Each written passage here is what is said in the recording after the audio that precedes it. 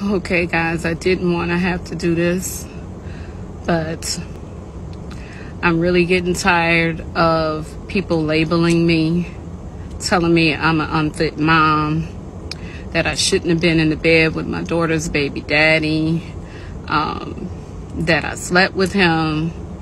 I'm really getting tired of, you know, people in my inbox, Facebook, Instagram, TikTok under my video saying nasty, mean things when you guys really don't know the full story.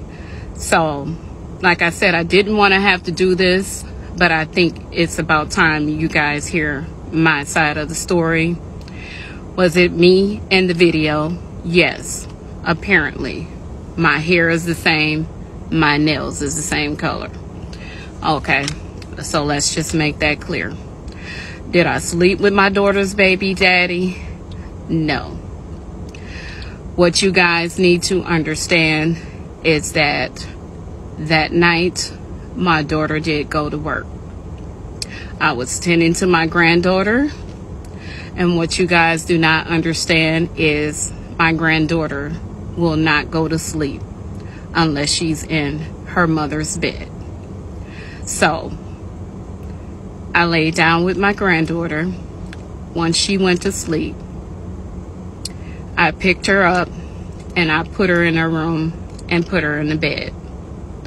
And sometime during that time, when I was, you know, putting her in the bed, I'm assuming that's when the baby daddy came in the room and got in the bed.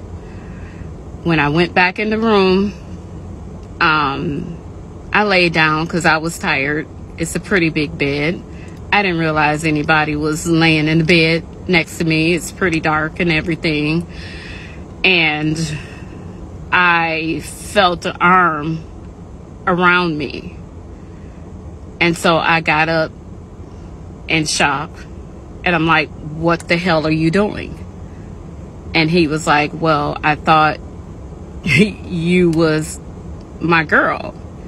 And I'm like, no, uh, what are you doing in here? Um, and he's like, well, you know, um, I'm sorry. I didn't know it was you. You know, Miss Sharon, you know, I've been meaning to talk to you. And I'm like, well, um, can it wait? Like, um, is it really that important? And he's like, um, yeah, like I really need to talk.